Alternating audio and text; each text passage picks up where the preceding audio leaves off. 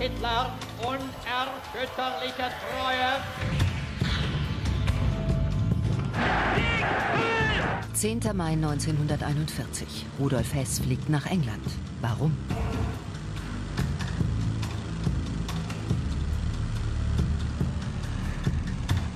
Der Flug macht ihn zum Mythos.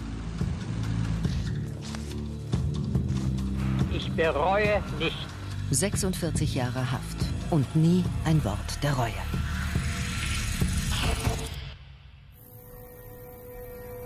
Im Fichtelgebirge die kleine Stadt Wunsiedel, Heimat der Familie Hess. Und jedes Jahr im August Treffpunkt der rechten Szene. Neonazis aus ganz Europa pilgern hierher zum Todestag von Rudolf Hess. Der Friedhof, ihr eigentliches Ziel, ist Sperrgebiet für die Demonstranten. Auf seinem Grabstein steht, ich hab's gewagt. Wer war Rudolf Hess und was hat er gewagt? Die Partei ist Hitler! Hitler aber ist Deutschland, wie Deutschland Hitler ist! Hitler Sieg Sieg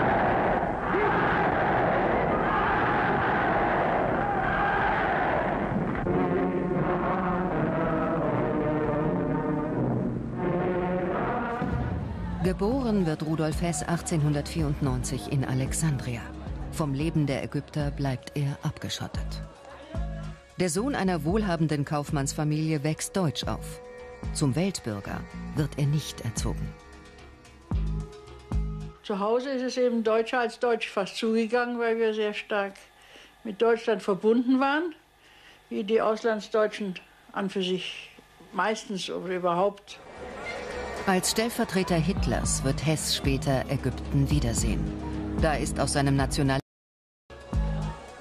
Völker unterscheiden sich voneinander durch ihre höheren geringeren Rasseeigenschaften.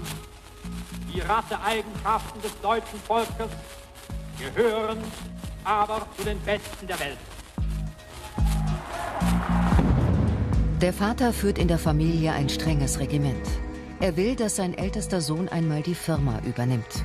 Rudolfs naturwissenschaftliche Neigungen interessieren ihn nicht. Er ist 14 Jahre alt, als ihn der Vater zur Ausbildung nach Deutschland schickt. Im Rückblick wird er später schreiben. Als einmal der liebe Vater feierlich die ernste Frage an mich stellte, was ich werden wollte, in dem Ton, bei dem allein uns schon das Blut zu gerinnen drohte, da kam es mir gar nicht in den Sinn, etwas anderes zu stottern als Kaufmann.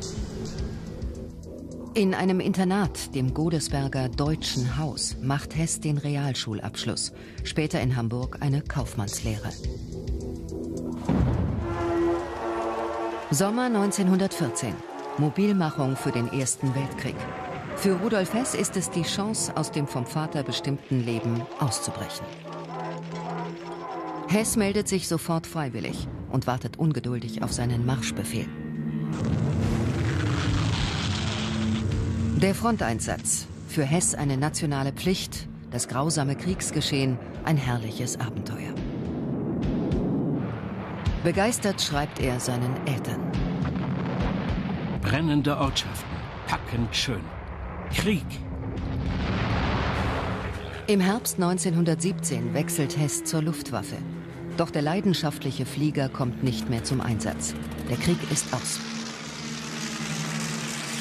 Deutschland muss in einem Eisenbahnwaggon bei Compiègne den Waffenstillstand unterschreiben. Der Nationalstolz des jungen Hess ist tief getroffen. Entsetzt schreibt er seinen Eltern. An den Frieden darf man nicht denken. Das Einzige, was mich hochhält, ist die Hoffnung auf den Tag der Rache. Der Versailler Vertrag, ein Schock. Dass führende Vertreter der Weimarer Republik Juden sind, schürt den Antisemitismus. Auch Hess glaubt an die Dolchstoßlegende, wonach jüdische und linke Vaterlandsverräter der siegreichen Armee in den Rücken gefallen sind. Ich selbst war bis dahin kein Antisemit. Die Tatsachen von 1918 und später waren aber so in die Augen springend, dass ich mich zum Antisemitismus bekehren musste. Rudolf Hess geht nach München. Hier beginnt er ein Volkswirtschaftsstudium an der Ludwig-Maximilian-Universität. Und er hört Vorlesungen über Geopolitik, die ihn faszinieren. Er lernt, dass es Völker gibt, die zum Herrschen bestimmt sind und deshalb um Lebensraum kämpfen müssen. Die Theorie von Professor Karl Haushofer. In Mein Kampf werden Hess und Hitler sie später aufgreifen. Und der verehrte Professor wird zum väterlichen Freund seines Studenten Rudolf Hess geworden sein. Für meinen Vater war der junge Hess einer von den, hätte ich fast gesagt, zahlreichen jungen Offizieren, die also aus dem Krieg herauskamen, noch ohne einen rechten Boden unter die Füße bekommen zu haben und die man irgendwie ins Leben hineinführen musste. Und äh, das war für ihn eine Erziehungsaufgabe. Zur selben Zeit in derselben Stadt. Der Gefreite Adolf Hitler kommt zurück nach München. Mittellos, ohne Perspektive, stößt er 1919 zur Deutschen Arbeiterpartei, die sich im Hinterzimmer des Bierkellers Sterneckerbräu trifft. Im Februar 1920 reißt Hitler die Führung der Partei an sich, die Geburtsstunde der NSDAP. Aus dem ersten Parteibüro werden die Nazis im Dritten Reich ein Museum machen. Hitler bewohnt ein kleines karges Zimmer in Schwabing, Tierstraße 41, wenige Straßen von Hess entfernt. Während Hitler sich als politischer Redner in Bierkellern durchschlägt, radelt Hess als Vertreter einer Möbelfirma durch München, um sein Studium zu finanzieren. Bald werden sich ihre Wege kreuzen. Rudolf Hess wohnt mit anderen Studenten aus gutem Hause in einer Schwabinger Pension. Zum Studium bleibt ihm nicht viel Zeit. Hess hat sich dem republikfeindlichen Freikorps Epp angeschlossen, um gegen die rote Gefahr zu kämpfen. Wie in anderen deutschen Städten herrschen auch in München bürgerkriegsähnliche Zustände. Und Hess sucht Halt bei rechtsextremen und völkischen Gegnern der Weimarer Republik, wie der Thule-Gesellschaft. Im noblen Hotel Vier Jahreszeiten trifft sich diese antisemitische Sekte. Auch hier ist Hess Mitglied. Hitler hört er erstmals im Sterneckerbräu. Es ist Frühjahr 1920. Hess hat seinen Führer gefunden. Da entsinne ich mich also sehr genau. Und da schoss er mal abends herein, weil er also erklärte, wir müssten mit ihm in dieses Sterneckerbräu gehen und müssten diesen Mann, diesen Adolf Hitler, sprechen hören. Das wäre also ein unerhörtes Erlebnis. Und er wäre überzeugt, dass nun endlich der Mensch da wäre, der den Friedensschluss von 1918 wieder wettmachen würde. Als Mitglied Nummer 16 tritt Rudolf Hess wenig später in die NSDAP ein. Für Hitler lässt sich auch seine Freundin und spätere Frau Ilse begeistern. Was sie zum Eintritt in die Partei veranlasst? 1938 schreibt sie in einem Fragebogen der Besuch eines Sprechabends mit Adolf Hitler im Sterneckerbräu, wo sie überall dabei war, eigentlich überall in den ersten Jahren in jeder Versammlung, aber als Frau natürlich stets passiv. Auf ihren Spaziergängen im englischen Garten versucht Hess auch seinen Professor für Hitler zu gewinnen. Aber Karl Haushofer nimmt Hitler nicht richtig ernst. Hinzu kommt, seine Frau Martha ist jüdischer Herkunft. Später wird Hess solche Ehen verbieten. Die Rasseeigenschaften des deutschen Volkes gehören zu den besten der Welt. Und vor allem dürfen sie nicht vermengt werden mit den jüdischen Rasseeigenschaften der Herrgott hat unser Volk ausgezeichnet vor anderen. Ihm sind wir schuldig, es nicht allmählich herabsinken zu lassen auf die Stube von niederen Völkern. Mein Großvater war der väterliche Freund und dann hat äh, Hess ja später äh, Hitler kennengelernt und äh, mein Großvater hat mit Hitler eigentlich nichts anfangen können. Da gibt es die Geschichte, die mir mein Vater erzählt hat. Dass ihm sein Vater eines schönen Tages den Vorschlag machte, doch mit ihm zusammen zu einem Tee ins Carlton zu gehen. Da gab es so ein paar Münchner äh, Damen, die also Hitler sehr gefördert haben, Bruckmann und, und dergleichen. Und mein Großvater sagte zu meinem Vater, du, da wirst du einen komischen Vogel kennenlernen. Der Student Rudolf Hess sieht in diesem komischen Vogel den Mann, der Deutschland wieder zur Höhe führt. So der Titel des Aufsatzes, mit dem Hess 1922 sogar ein Preisausschreiben gewinnt. Darin zeichnet er den Führer, dem er fortan folgen wird. Er hat einzig und allein vor Augen, sein Ziel zu erreichen, stampft er auch dabei über seine nächsten Freunde hinweg. Im November 1923 will der von Hess ersehnte Diktator die Macht an sich reißen. Im Bürgerbräukeller stürmt Hitler eine politische Versammlung und lässt Geiseln nehmen. Hess soll sie außerhalb von München verstecken. Unterdessen bläst Hitler zum Marsch auf Berlin. Doch bereits an der Feldherrenhalle stoppt die Polizei den Zug.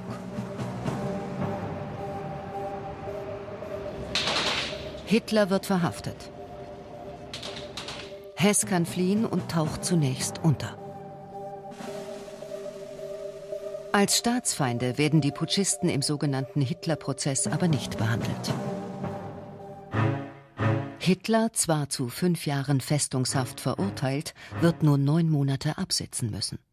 Hess stellt sich freiwillig und kommt ebenfalls nach Landsberg. An seine Mutter schreibt er So bin ich glücklich hier gelandet und kann täglich zusammen sein mit dem prachtvollen Menschen, mit Hitler. Hess beschreibt die Zimmeraufteilung und schwärmt von den komfortablen Haftbedingungen. Man sitze bei Kaffee und Kuchen in gemütlichen Korbsesseln. Herrlich auch das heiße Bad. Im modernen, nur für uns bestimmten Badezimmer. In Landsberg schreibt Hitler Mein Kampf. Der Führer diktiert, Hess tippt. Sätze wie Der Jude ist immer nur Parasit im Körper anderer Völker. Wir werden die Gesundheit nur wiederfinden, wenn wir den Juden eliminieren. Nach der Arbeit an Mein Kampf wird Hess wie kaum ein anderer die politischen Ziele Hitlers verinnerlicht haben. Er schreibt: Ich bin ihm ergeben, mehr denn je. Ich liebe ihn.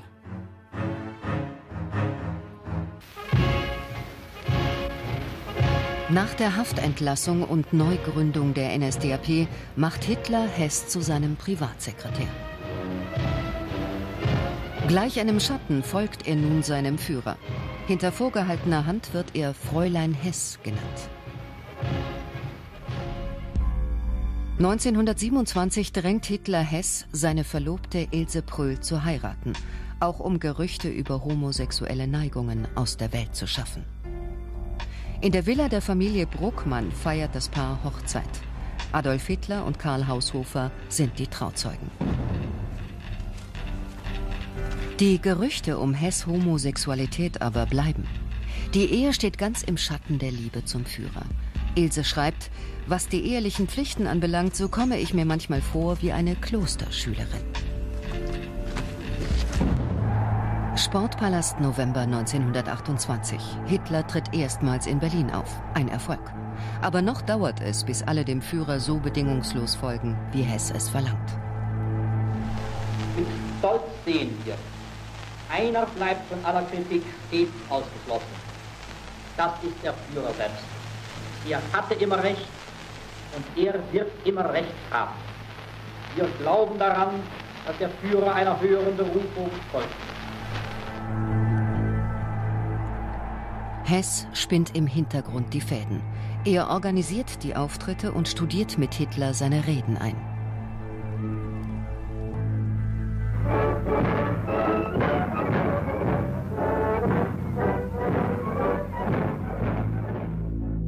Die Nähe zum Führer und die selbstlose Arbeit für die Bewegung werden zum einzigen Lebensinhalt. Seinen Eltern schreibt Hess: Den Tribunen erkenne ich als Führer an. Zu ihm stehe ich in einem persönlichen Vertrauensverhältnis. Sonst hat mir niemand etwas dreinzureden. Der Führer, den das Flugzeug nach allen Gauen Deutschlands geführt hatte, traf auf den Flughafen von Königsberg ein. 30.000 Kilometer legt Hitler allein 1932 zurück. 200 Auftritte. Er will Wahlen gewinnen, um nun die NSDAP auf legalem Weg an die Macht zu bringen. 30. Januar 1933. Die Machtergreifung Hitlers. Der vielleicht glücklichste Moment im Leben von Rudolf Hess.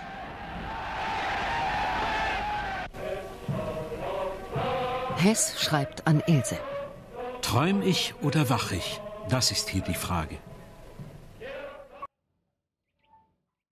Auf dem Hartschimmelhof, dem Landgut von Professor Karl Haushofer, wird nicht gefeiert.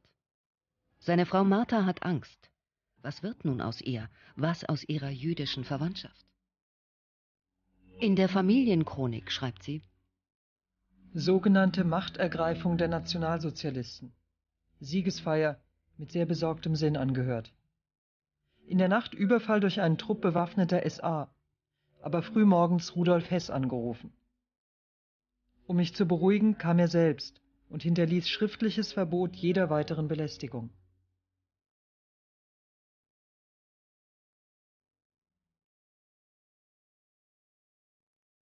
Karl Haushofer pflanzt eine Eiche für Hess. Zeichen der Freundschaft mit seinem einstigen Studenten, auf dessen Loyalität er nun angewiesen ist. Tatsächlich kann er sich auf Hess verlassen und macht sogar eine beachtliche Karriere im Dritten Reich. Haushofer wird Leiter des Volksdeutschen Rates. Was das Verhältnis zu den Juden betraf, bin ich persönlich felsenfest davon überzeugt, dass meinem Großvater eigentlich nie bewusst geworden ist, was da tatsächlich passiert. Mein Großvater hat sich da auch sicher etwas verhalten wie die berühmten drei Affen. Nichts sehen, nichts hören, nichts sprechen. 1. April 1933. Die Nationalsozialisten rufen zum Judenboykott auf. Wenig später das erste KZ in Dachau. 30. Januar sind in Deutschland die Würfel gefallen. Und ich glaube nicht, dass die Gegner, die damals noch gelacht haben, heute auch noch lachen. Hess triumphiert.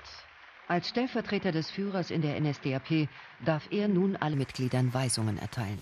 Ihr, die ihr zur Vereidigung angetreten seid, erhebt euren Arm zum Schwur und sprecht mir nach. Ich schwöre Adolf Hitler unerbrüchliche Treue. Ich schwöre Adolf Hitler unerbrüchliche Treue. Unbedingten Gehorsam. Unbedingten Gehorsam. Sieg! Außerdem wird Rudolf Hess Reichsminister ohne Geschäftsbereich.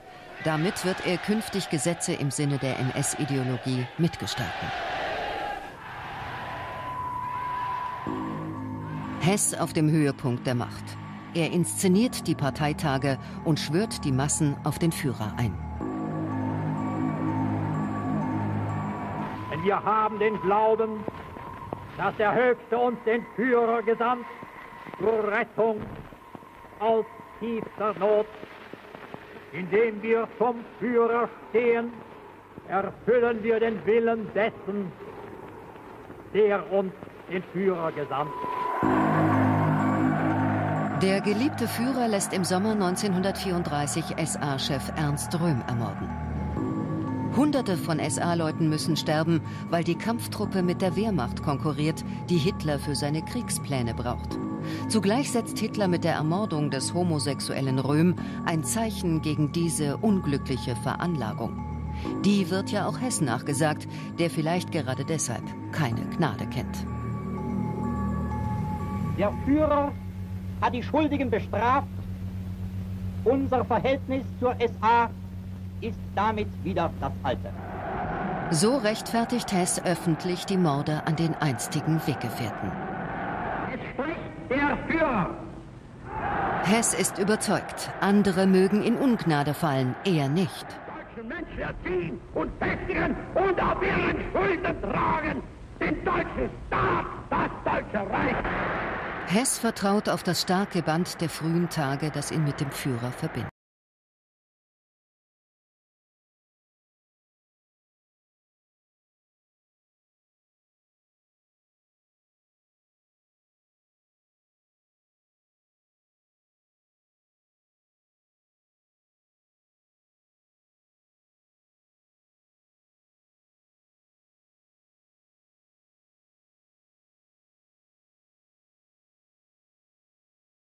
Stunde für Karl. Die Familie war sich sehr klar darüber, dass äh, da doch eine enorme Gefährdung war. Und äh, an meinen Großvater ist man ja auch herangetreten und hat probiert zu erreichen, dass er sich von seiner Frau scheiden lässt. Was er nicht getan hat. Die Freundschaft zu Karl Haushofer bedeutet Hess viel. Doch den Söhnen hilft er nur zögerlich. Für Hess sind sie jüdisch versippt. Dennoch, Albrecht Haushofer wird sogar Leiter eines politischen Instituts, später Berater im Außenministerium. Eheschließungen zwischen Juden und Staatsangehörigen deutschen oder artverwandten Blutes sind verboten. Als Reichsminister unterschreibt Hess nicht nur die Nürnberger Gesetze, er setzt sich auch für schärfste Ausführungsbestimmungen ein. Es wird streng unterschieden zwischen Dreiviertel- und Halbjuden, blutmäßigen Juden und Mischlingen. Denn wie ein Fluch liegt es auf diesem jüdischen Volke, Rasseeigenschaften und Rasseeigenheiten zu besitzen, die nun einmal zu den schlechtesten der Welt gehören. Und wir können nicht zulassen, dass dieser Fluch auf unser eigenes Volk übertragen wird, indem es sich mit dem Jüdischen mischt. Das Braune Haus in München, die Parteizentrale. Hess ist der Moralapostel der Bewegung, der ständig seine Genossen diszipliniert. Den Umgang mit Juden hat er seinen Parteigenossen schon lange untersagt. Er hat sich ja die Klagemauer der Partei genannt. es kamen natürlich viele Briefe. Der beschwerte sich über das, der beschwerte sich über das. Er ist jedem Einzelnen musste nachgegangen werden. Da wurde ein Ortsgruppenleiter abgesetzt, da wurde der Kreisleiter abgesetzt. Das kam nach außen hin nicht irgendwie ans Licht. Das war so sein Bereich. Er hat praktisch den Mist immer beseitigen müssen. Hess will vorbildliche Parteiführer, die nicht rauchen, nicht saufen, nicht rasen, nicht prassen. Er verliert sich im moralischen Kleinkrieg. Sein ehrgeiziger Stabsleiter nutzt das aus. Hess hatte nicht den Einfluss eines Stellvertreters, auch nicht in der Partei. Insbesondere hat etwa ab 35, 36 sich der Einfluss von Martin Bormann geltend gemacht, der ähm, es verstand, sich bei Hitler in der persönlichen Umgebung einzunisten und der mehr und mehr als Vertreter von Hess dort äh, an Einfluss gewann und Hess in den Schatten stellte. Dem Idealisten Hess fehlt es an Machtinstinkt. Im Volk ist der immer bescheiden wirkende Stellvertreter aber sehr beliebt. Der Hess war für uns an für sich kein Politiker in dem Sinne, ne, der, sich, der sich da hinsteht und, und groß, einen großen Mann markiert, sondern ein ganz ruhiger Vertreter, mit dem man sprechen konnte, wie mit, mit jemandem, mit Nachbarn oder was. Lorenz Heiß trifft den Stellvertreter beim Wettflug rund um die Zugspitze 1934, den Hess gewinnt. Er lernt ihn als leidenschaftlichen Flieger und wahren Kameraden kennen. Für Hess ist die Volksgemeinschaft keine leere Propaganda, sondern Mission.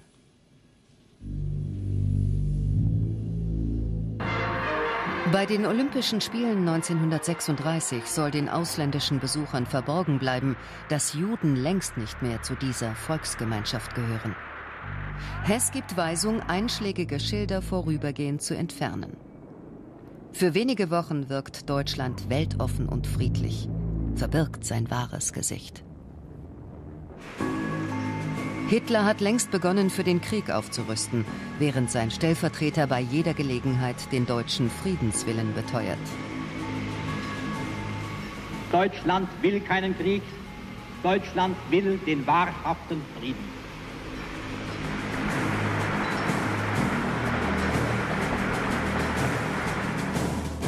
Sommer 1935. Hess und Hitler plaudern mit englischen Frontkämpfern. Schon in Mein Kampf steht, die Engländer rassisch ebenbürtig seien die natürlichen Verbündeten gegen den Bolschewismus. haben wir sehr viel Land gewonnen heute, dadurch, dass wir gewisse Gebiete, die zurzeit vermoort sind oder die Sümpfe sind und so weiter, dass wir die eben durch den Arbeitsdienst kultivieren. Der Führerbau. Hier erringt Hitler im September 1938 einen Etappensieg über seine verehrten Engländer. Durch das Münchner Abkommen erhält er das Sudetenland. Auch England glaubt, damit den Frieden gerettet zu haben. Erleichterter Jubel bei Chamberlains Rückkehr. Keine zwei Monate später, der Tag nach der Pogromnacht vom 9. November 1938.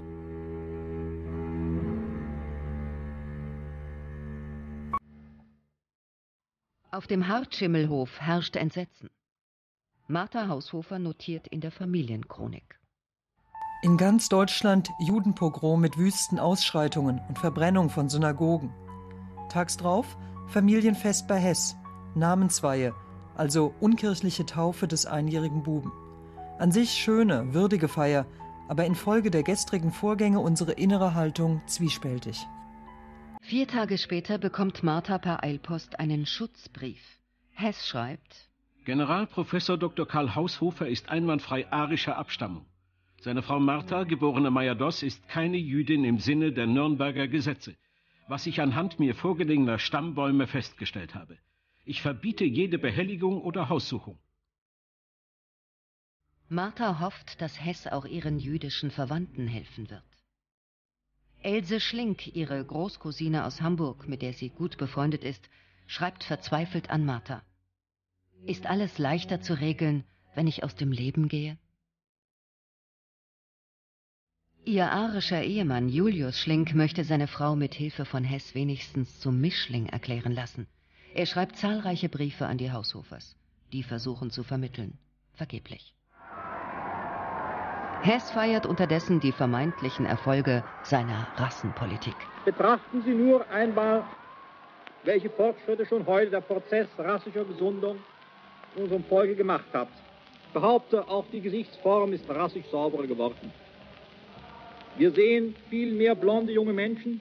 Ich glaube nicht zu viel zu behaupten, wenn ich sage, die gesamte heranwachsende deutsche Generation ist rassisch besser geworden. Die Haltung der Dienststelle Hess macht sein Ministerialdirektor Sommer 1936 unmissverständlich klar. Vom Standpunkt der NSDAP aus könne entsprechend dem Parteiprogramm die Judenfrage erst dann als gelöst angesehen werden, wenn es in Deutschland keinen Juden mehr gibt. September 1939. Mit dem Überfall auf Polen beginnt Hitlers Eroberfeldzug in Europa. Andächtig lauscht Hess im Reichstag der Kriegserklärung seines Führers. Ich habe mich daher nun entschlossen, mit Polen in der gleichen Sprache zu reden, mit der Polen und Saiponen. Seit Kriegsbeginn ist Hess nach Göring designierter Nachfolger Hitlers. Der dritte Mann im Dritten Reich. Eine formale Anerkennung treuer Dienste, mehr nicht. Hess sitzt mit Vertreterinnen des BDM, des Bundes Deutscher Mädel, bei Kaffee und Kuchen. Die Marschroute für den Krieg legt Hitler mit anderen fest.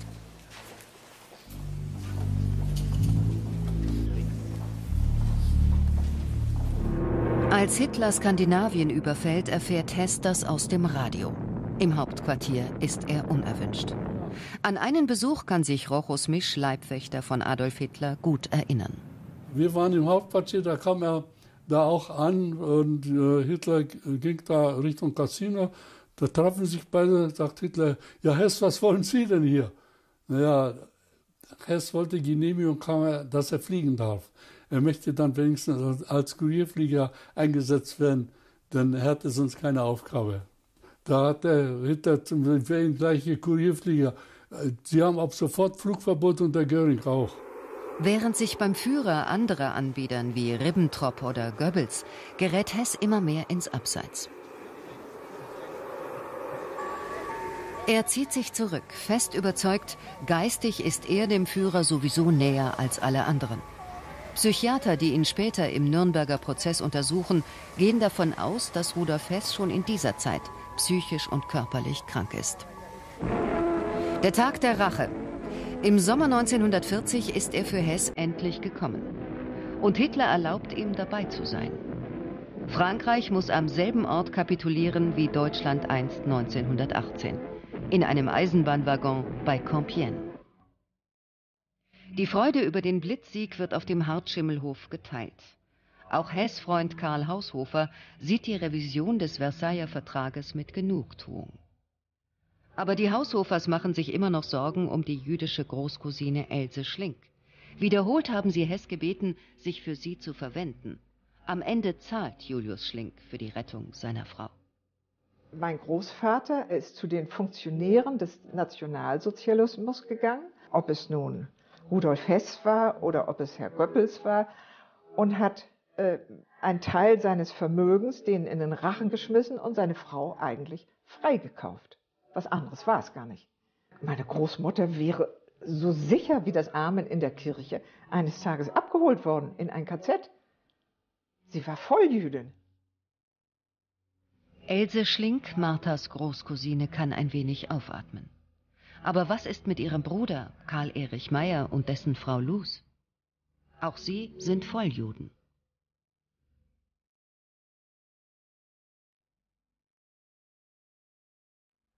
Das Familienunternehmen ist längst arisiert.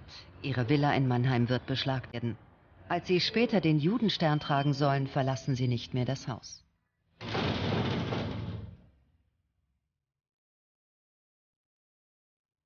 Es wird ein Warten auf den Deportationsbescheid.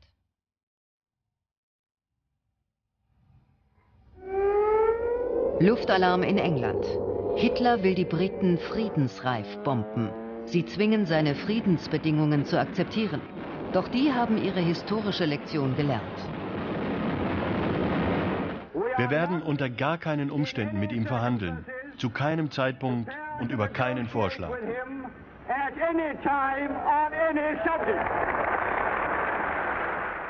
In London hat man jetzt erkannt, welche Gefahr von Nazi-Deutschland ausgeht. Churchill lehnt alle Friedensangebote ab. Hitler lädt zum Essen auf den Obersalzberg. Auch Hess soll diesmal zu Gast sein. Und der Führer bekommt wieder mal schlechte Nachrichten aus England. Es ist Sommer 1940. Auf dem Obersalzberg ist auch Rochus Misch.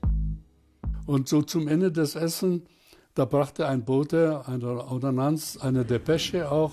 Der Führer liest es und sagt, mein Gott, was soll ich aber noch tun? Ich kann doch nicht hinfliegen, auf die Knie werfen. Der Hess hat sich in dem Moment gesagt, wie Hitler sich geäußert hat. Nein, das kann er nicht. Aber ich, ich kann das.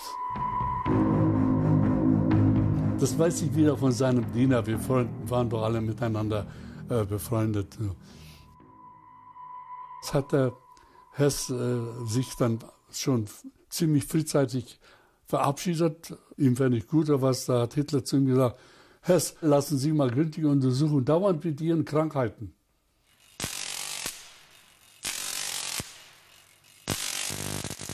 Hess bevorzugt alternative Heilmethoden wie die Hochfrequenztherapie. Er hat Magen- und Verdauungsprobleme. Das Fabel des kränkelnden Stellvertreters für die alternative Medizin wird spöttisch belächelt. Das Institut Zeileis in Oberösterreich, wo Hess Heilung sucht, halten viele Parteigenossen für einen obskuren Zauberladen. Rudolf Hess war zweimal in Galsbach, einmal im Jahr 40 und einmal im Jahr 41 im Jahr 41, 14 Tage bevor er nach England gegangen ist. Er hat scheins gesundheitliche Probleme gehabt. Ich habe ja damals oder ich war damals noch nicht medizinisch tätig. Ich weiß es nur aus Erzählungen von meinem Vater. Und er hat eben Probleme gehabt und wollte vor allem Ruhe haben. Im Spätsommer 1940 ist Rudolf Hess hier erstmals zur Kur. Und ich habe auch gehört, dass er zum Beispiel aus dem Hotel davongelaufen ist und dann von seinen Bewachern gesucht worden ist im Wald. Stellen Sie sich vor, wenn in Galsbach der Stellvertreter des Führers abhanden kommt. Hess sucht Ruhe, auch weil er ungestört mit Albrecht Haushofer sprechen will. Den Englandkenner und Sohn seines besten Freundes zitiert er nach Galsbach, um mit ihm Möglichkeiten eines deutsch-englischen Friedens zu erörtern.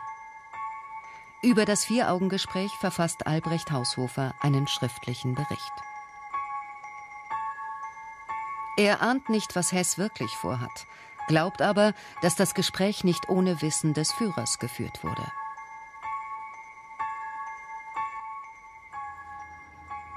Albrecht Haushofer versucht, Hess in Galsbach klarzumachen, dass es in England niemanden mehr gibt, der mit Hitler noch über einen Frieden verhandeln will. Aber Hess bittet Albrecht, über mögliche Kontaktpersonen nachzudenken. Er ist unbeirrbar. Ich war da dabei mit Maschine und, Schrei und, und Fernschreiber und mit dem ganzen Zeug. Und da hat er mir im Garten von Professor Zeileis eine Rede diktiert, die er vor englischen Offizieren halten wollte. Da hat er eben in der Rede eben auch gesagt, also man muss schauen, dass man zum Frieden kommt und machen wir halt ein Gentleman Agreement. Wir haben euch viel kaputt gemacht, ihr habt uns viel kaputt gemacht, aber bitte jetzt zusammenstehen gegen Russland. Und da habe ich mir dann schon gedacht, mein Gott. Und da hat er mir aber dann damals gesagt, Schrödelchen, Sie geben mir Ihr Ehrenwort, dass Sie mit niemandem über diese Rede sprechen. Albrecht Haushofer schlägt schließlich seinen englischen Freund, den Herzog von Hamilton, als Kontaktperson vor. Im Auftrag von Hess schreibt er ihm am 23. September 1940 einen Brief. Albrecht schlägt ein Gespräch auf neutralem Boden in Lissabon vor. Die Adresse einer Freundin der Haushofers dient als Deckadresse. Warum aber schreibt Albrecht Haushofer an den Herzog von Hamilton? Was er Hess wohl gesagt hat, war, dass mein Vater, der junge Herzog von Hamilton, der engste seiner englischen Freunde ist. und dass er jederzeit Zugang zu allen wichtigen Persönlichkeiten in London hat, selbst zu Churchill und zum König. Hess erinnerte sich an die Macht des Kaisers und glaubte, der englische König würde genauso großen Einfluss haben. Er hatte keine Vorstellung, wie unsere konstitutionelle Monarchie in einer Demokratie funktioniert. Hess besorgt sich Bücher und Landkarten. Er will selbst nach Schottland zum Landsitz des Duke of Hamilton fliegen und mit ihm verhandeln. Er weiß, dass Hitler wenige Wochen zuvor seine Generäle beauftragt hat, den Russlandfeldzug vorzubereiten. Er weiß auch, wie schwer ein Zwei-Fronten-Krieg zu führen sein wird. Hess blüht auf. Er ist besessen von der Idee, seinem Führer doch noch den kriegswichtigen Separatfrieden mit England zu bringen. Bei der Firma Messerschmitt in Augsburg besorgt sich Hess eine Me 110. Im Herbst 1940 beginnt er mit Trainingsflügen. Hess kam dann jeweils und hat wieder äh, Trainingsflüge gemacht, bis zu einem Zeitpunkt, als er sah, dass wir im Einflugbetrieb an den äh, Mi 110s äh, Außenbehälter anbrachten. Man hatte also dann äh, den Vogel praktisch von vier Flugstunden auf zehn Flugstunden erhöht. Und die Eindringtiefe war entsprechend größer und das wollte nun Hess auch äh, an seiner Maschine haben. Für uns unerkennbar zu welchem Zweck. Zweimal startet Hess im Winter 1940-41 Richtung Schottland, muss aber wegen technischer Probleme umkehren. In den Plan sind nur sein Diener und sein Adjutant eingeweiht.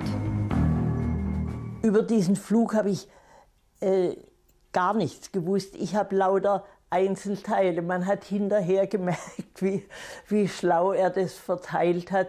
Ich habe geglaubt und gehofft, dass er diese Flüge, also dass es seiner Entspannung zwischendrin dient. Und ich wusste auch, dass es der Führer nicht wissen darf. Täglich muss die Sekretärin telefonisch Wettermeldungen einholen. Hess weiß, die Zeit drängt. Nur er kann dem geliebten Führer den schwierigen Zwei-Fronten-Krieg doch noch ersparen. Was Hess nicht weiß, die britische Zensur in London hat den Brief an den Duke of Hamilton abgefangen. Er wird an die Geheimdienste und das britische Außenministerium weitergeleitet. Dort findet der Brief zunächst wenig Beachtung. Hamilton wird davon erst im April 1941 erfahren. Der Brief wurde verlegt und vielleicht hat das MI5 ja auch wichtigere Dinge im Kopf. Weder Sie noch mein Vater wussten, was hinter dem Brief steckte. Und niemand erwartete Hess. Bis zu seiner Ankunft am 10. Mai 1941. Und sie fielen natürlich aus allen Wolken. 10th May 1941, and they were of course absolutely astonished. Der 1. Mai, dem nationalen Feiertag des deutschen Volkes, übergab der Stellvertreter des Führers, Rudolf Hess, in den Messerschmitt-Werken in Augsburg die goldenen Fahnen. Mit Wirkung vom heutigen Tage hat der Führer zu Pionieren der Arbeit ernannt. Professor Dr. Willi Messerschmitt. Einer der letzten öffentlichen Auftritte von Rudolf Hess. Bis heute wird spekuliert, wusste Hitler wirklich nichts von der geplanten Mission? Mein Mann ist am 10. Mai an einem Samstag geflogen.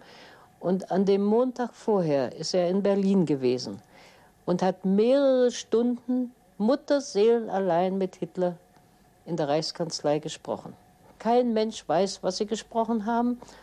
Nachher ist dann die Tür aufgegangen und Hitler ist rausgekommen, den Arm um meinen Mann gelegt und hat lachend gesagt, Hitler, äh, Hess, Sie sind ein alter, ekelhafter Dickkopf. Ich weiß das ja schon seit langem. Daraus schließen nun einige, dass der Flug mit Wissen Hitlers, was ich nicht glaube. Hess hat sich vor dem Flug vergewissert. Der Führer ist noch am Frieden mit England interessiert. Wenn er ihn erreicht, ist er ein Held. 10. Mai 1941. Hess startet um 17.45 Uhr. Ja, es war ein Tag eigentlich wie immer. Er hat mittags noch Besuch gehabt. Dann ist er noch zum Jungen reingegangen ins Kinderzimmer, hat den Jungen noch angeguckt und stand dann bei mir. Und das hat er mir später mal geschrieben. Es hätte ihn also eiskalt durchfahren. Ich hätte ihn nämlich gefragt, wann kommst du zurück? Hat er gesagt, ach, ich nehme an Montag. Und da hätte ich plötzlich den Kopf geschüttelt und hätte gesagt, das glaube ich nicht. Hess lässt Frau und Sohn zurück. Für wie lange ahnt er nicht. Er glaubt, es sei nur eine Frage der Zeit, bis die Engländer einlenken. Nie vor dem hat ein Deutscher so große Macht seine Hand vereint wie der Führer. Mag England den Luftkrieg führen. Es wird nur sein Land der Zerstörung durch unsere Bomben und Torpedos preisgeben. Es kommt auf alle Fälle der Tag, wo es am Ende sein wird. Bei Sonnenuntergang überfliegt Hess die schottische Küste. Doch die schottische Luftabwehr, für die ausgerechnet Hamilton zuständig ist, entdeckt verwundert die einsame Me 110.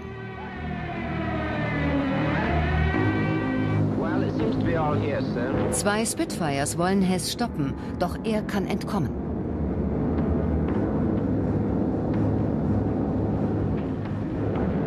In derselben Nacht erlebt London den bis dahin schlimmsten Luftangriff der Deutschen. Das britische Parlament wird schwer getroffen. Gegen 23 Uhr springt Rudolf Hess mit dem Fallschirm über Schottland ab. Sein Ziel, den Landsitz des Duke of Hamilton, verfehlt er nur knapp. Die politische Karriere des Rudolf Hess endet 20 Kilometer nördlich bei einem Vorort von Glasgow.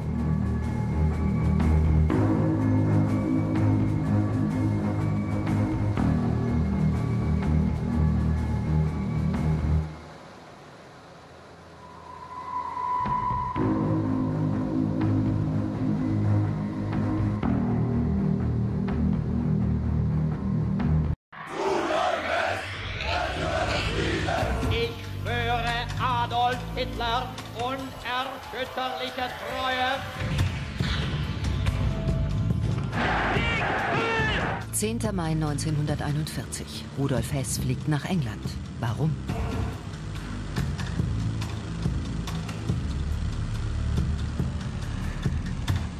Der Flug macht ihn zum Mythos. Ich bereue nicht. 46 Jahre Haft und nie ein Wort der Reue.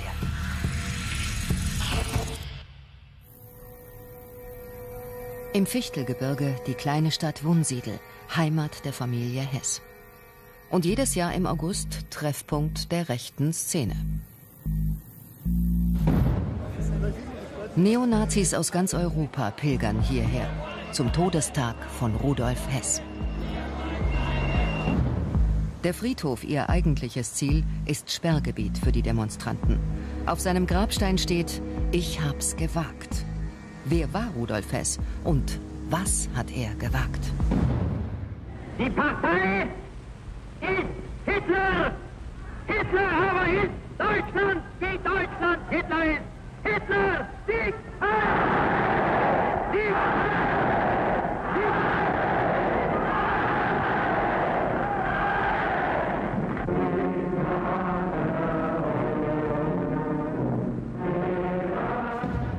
Geboren wird Rudolf Hess 1894 in Alexandria.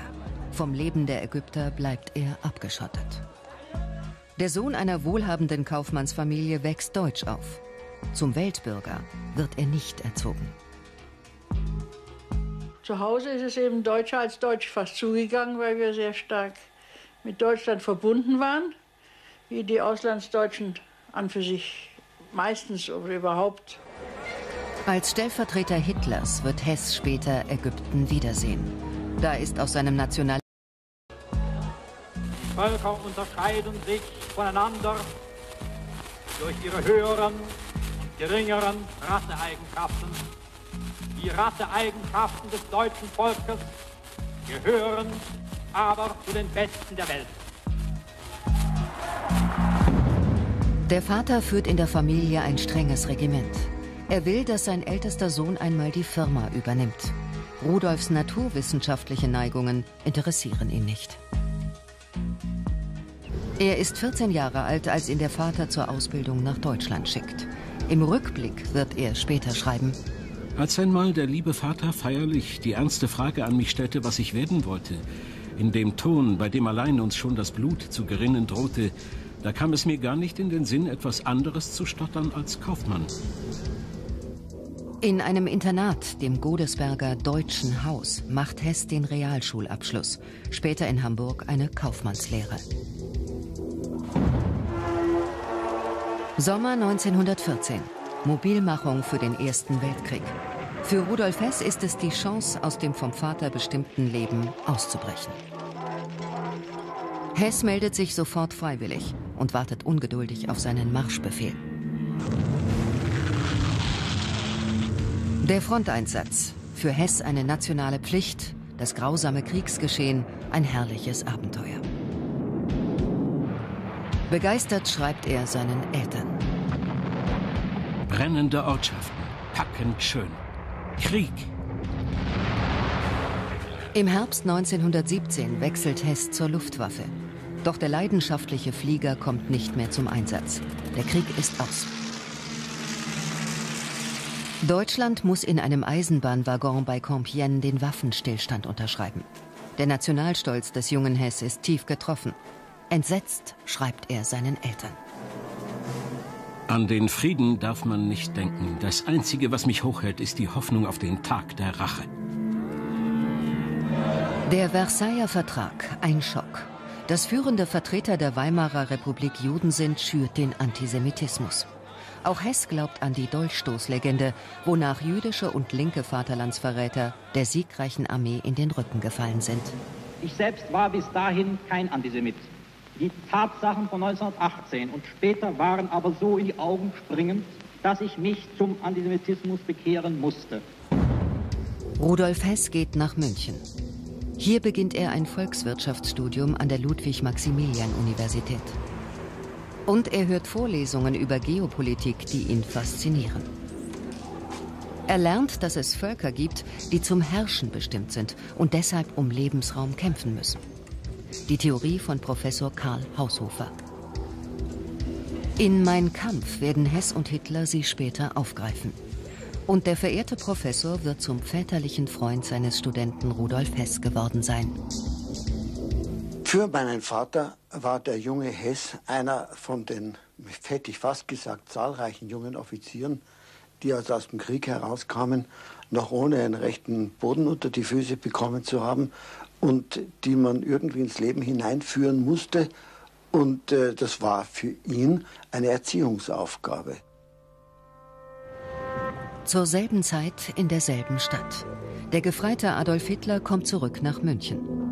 Mittellos, ohne Perspektive, stößt er 1919 zur Deutschen Arbeiterpartei, die sich im Hinterzimmer des Bierkellers Sterneckerbräu trifft. Im Februar 1920 reißt Hitler die Führung der Partei an sich, die Geburtsstunde der NSDAP. Aus dem ersten Parteibüro werden die Nazis im Dritten Reich ein Museum machen.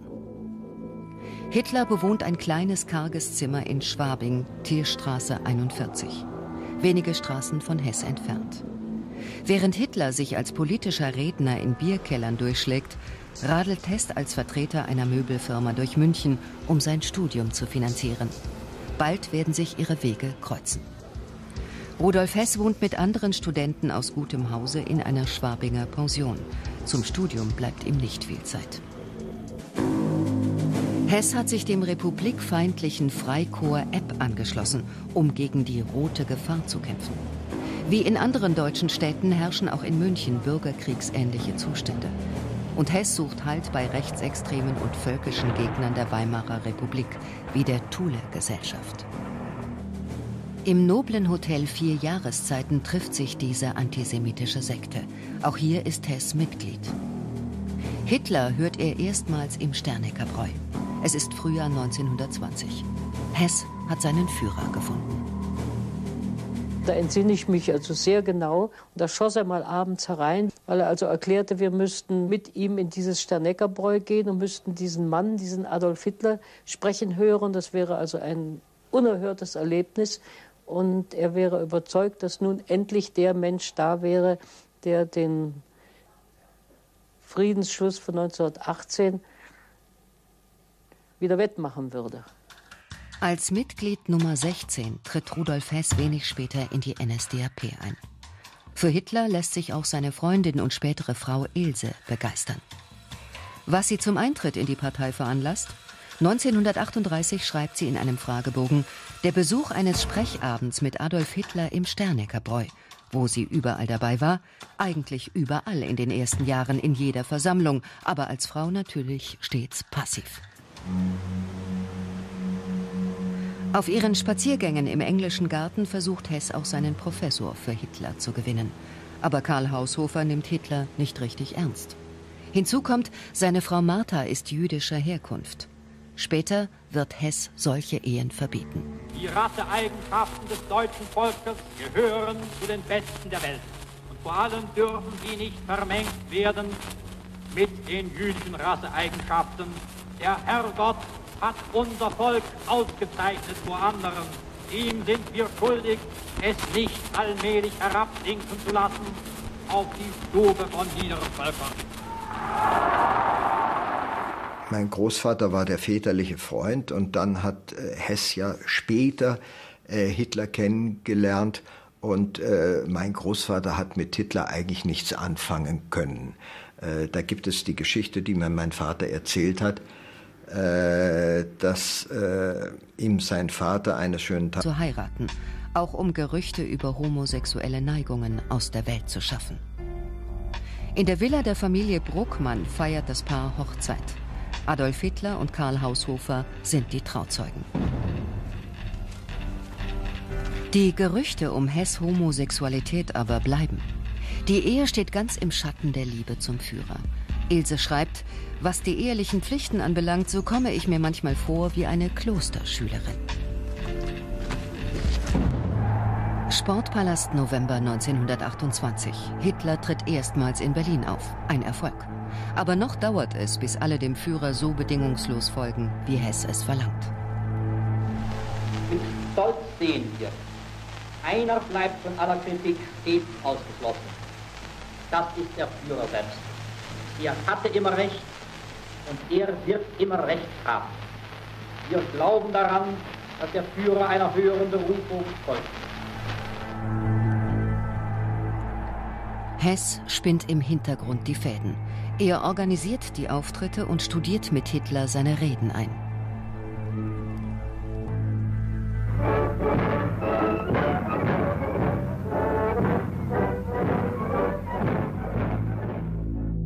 Die Nähe zum Führer und die selbstlose Arbeit für die Bewegung werden zum einzigen Lebensinhalt.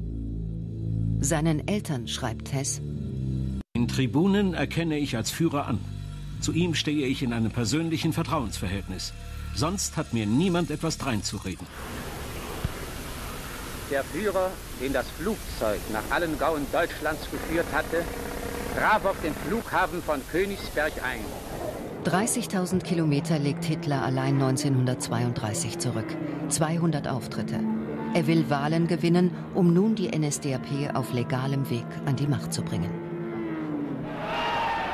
30. Januar 1933. Die Machtergreifung Hitlers. Der vielleicht glücklichste Moment im Leben von Rudolf Hess.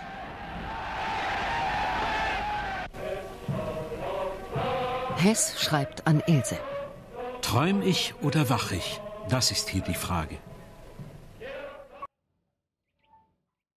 Auf dem Hartschimmelhof, dem Landgut von Professor Karl Haushofer, wird nicht gefeiert.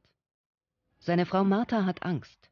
Was wird nun aus ihr? Was aus ihrer jüdischen Verwandtschaft? In der Familienchronik schreibt sie Sogenannte Machtergreifung der Nationalsozialisten. Siegesfeier mit sehr besorgtem Sinn angehört. In der Nacht Überfall durch einen Trupp bewaffneter SA, aber frühmorgens Rudolf Hess angerufen. Um mich zu beruhigen, kam er selbst und hinterließ schriftliches Verbot jeder weiteren Belästigung.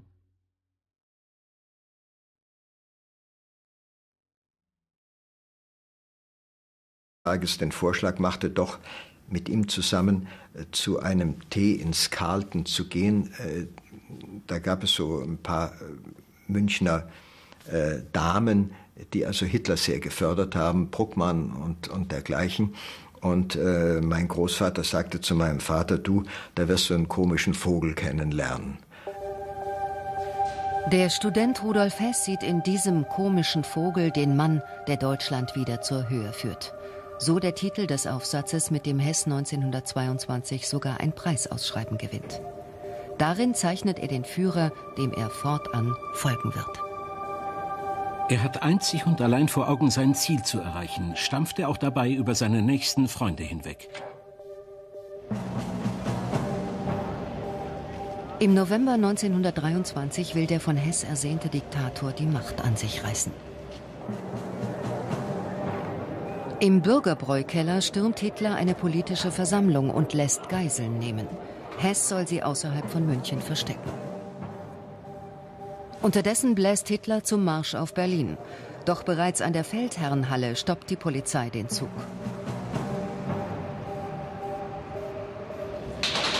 Hitler wird verhaftet. Hess kann fliehen und taucht zunächst unter. Als Staatsfeinde werden die Putschisten im sogenannten Hitler-Prozess aber nicht behandelt. Hitler, zwar zu fünf Jahren Festungshaft verurteilt, wird nur neun Monate absitzen müssen. Hess stellt sich freiwillig und kommt ebenfalls nach Landsberg. An seine Mutter schreibt er So bin ich glücklich hier gelandet und kann täglich zusammen sein mit dem prachtvollen Menschen, mit Hitler. Hess beschreibt die Zimmeraufteilung und schwärmt von den komfortablen Haftbedingungen. Man sitze bei Kaffee und Kuchen in gemütlichen Korbsesseln. Herrlich auch das heiße Bad. Im modernen, nur für uns bestimmten Badezimmer. In Landsberg schreibt Hitler Mein Kampf. Der Führer diktiert, Hess tippt. Sätze wie Der Jude ist immer nur Parasit im Körper anderer Völker. Wir werden die Gesundheit nur wiederfinden, wenn wir den Juden eliminieren. Nach der Arbeit an Mein Kampf wird Hess wie kaum ein anderer die politischen Ziele Hitlers verinnerlicht haben. Er schreibt Ich bin ihm ergeben, mehr denn je. Ich liebe ihn.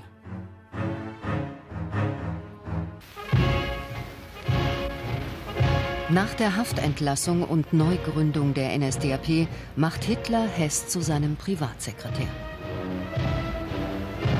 Gleich einem Schatten folgt er nun seinem Führer. Hinter vorgehaltener Hand wird er Fräulein Hess genannt. 1927 drängt Hitler Hess seine Verlobte Ilse Pröhl